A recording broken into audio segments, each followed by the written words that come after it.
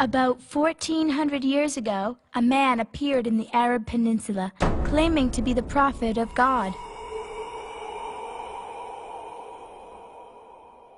And a little girl was forced to be the wife of that self-proclaimed prophet.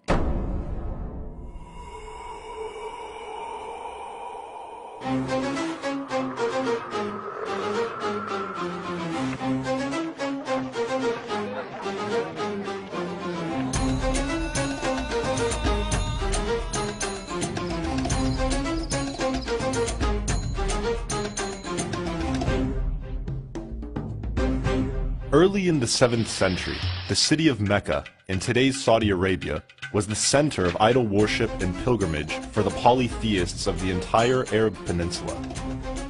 Because of its housing the holy temple of Kaaba that contained 360 idol gods worshipped in the region.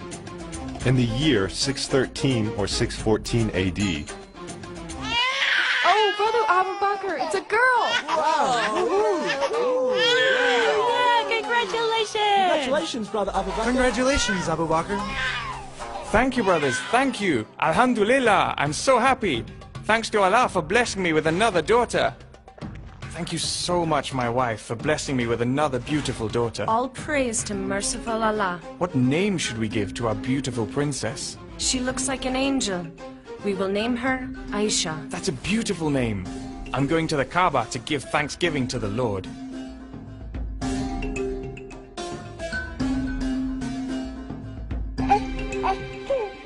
Aisha became a remarkable woman in history thanks to the birth of a baby boy in the same city about 43 years earlier, in 570 AD. He was Muhammad, the prophet of Islam and the most influential person in history.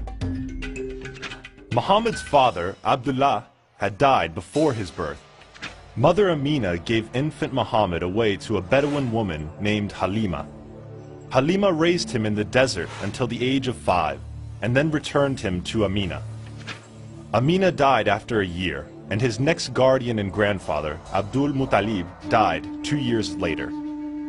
This brought eight-year-old Muhammad under the care of his loving uncle, Abu Talib, whence he had to work as a shepherd and help with uncle's caravan trade. Muhammad remained unmarried until the age of 25, extremely uncommon and unexpected in those days, although his proposal to marry his cousin, Umhani, was rejected by Abu Talib.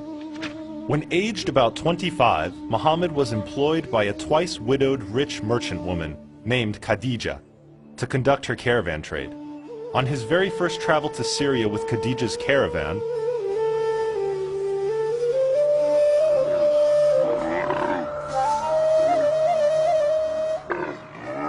Great, Mohammed, Maysarah.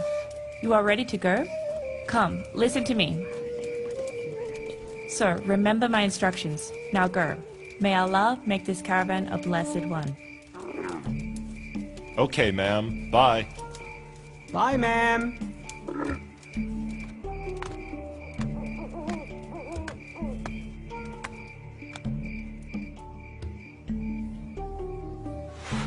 They should be returning any time. Don't know why I feel so restive this time. Oh, ma'am, we're home. Oh, Maysarah! Oh, Mohammed! You're back? I'm waiting eagerly. How did it go? Perfect, ma'am.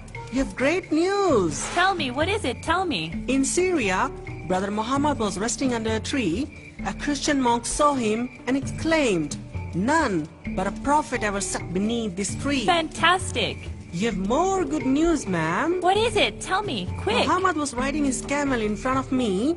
The sun was very hot, and I saw two angels shielding him from the sun. Excellent! This is the news my cousin Waraka is eagerly waiting for. I am rushing to give him the good news.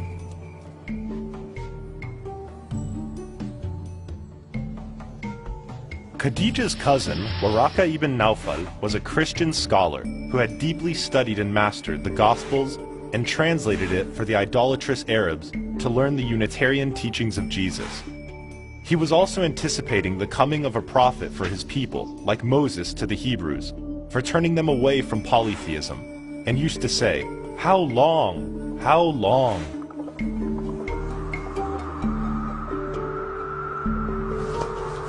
Why you are rushing like this, Khadija? Great news, Brother Waraka. If this is true, Khadija, verily Muhammad is the prophet of this people. I knew that a prophet is expected for this people. His time has come. Thereafter, Khadija proposed to marry Muhammad. And 25-year-old Muhammad married 40-year-old Khadija in 695 AD. In the solemnization ceremony, Waraka eagerly offered her hand to Muhammad, ahead of her real guardian, saying, O people of Quraysh, I have given Khadija, daughter of Khuwaylid, in marriage to Muhammad ibn Abdullah for the dower of 400 dinars. Soon, Muhammad, with obvious consent of Khadija, gave up commercial activities and started spending time in a cave of the nearby Hira mountain. And 15 years later, while asleep in the cave, he allegedly saw in his dream that some invisible being was forcing him to recite some verses, who later showed up in the sky and said, O Muhammad, thou art the apostle of God, I am Gabriel.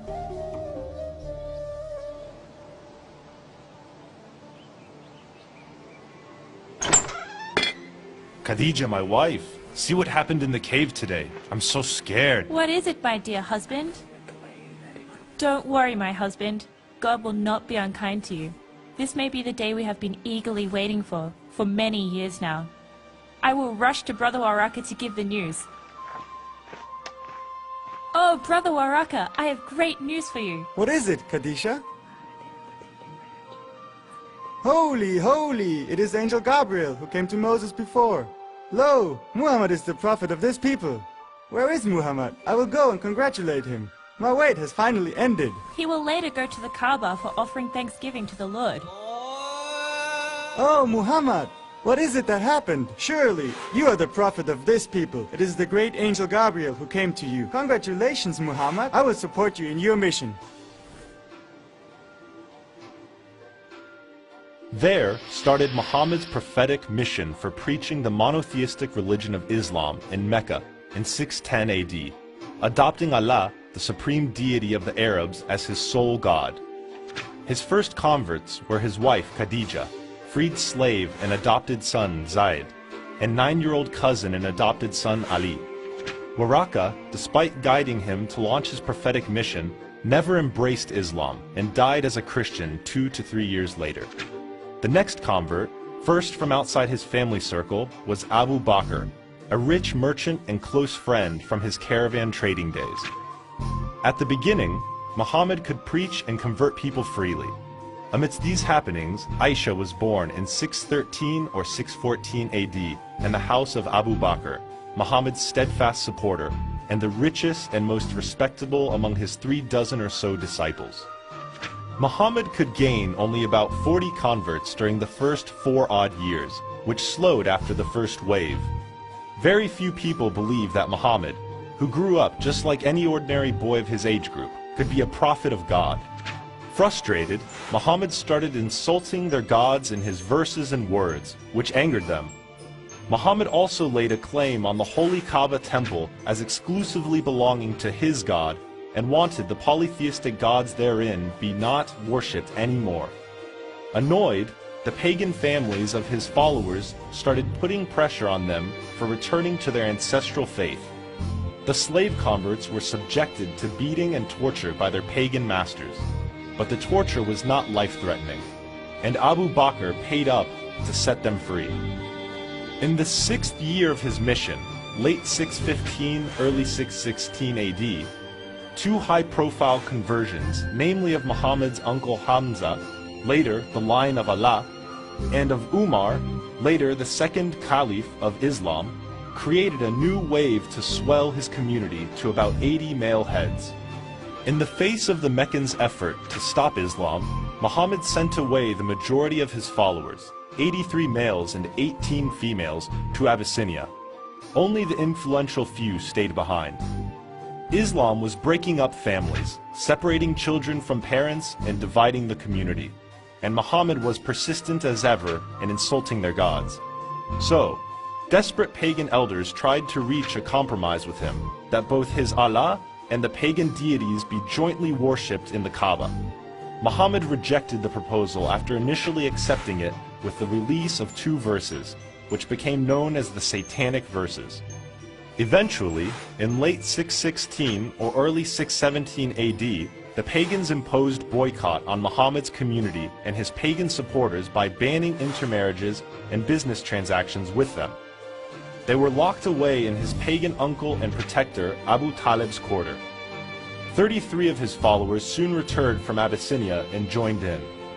The boycott continued for nearly three years, hardly anything reaching them from the outside. Yet, some of the sympathetic pagans used to send in food and provisions quietly at the dead of night. They also tried to annul the boycott. The boycott left them economically crippled and stricken with hardship and hunger. But Muhammad refused to concede any ground and kept rallying his followers to weather the trial.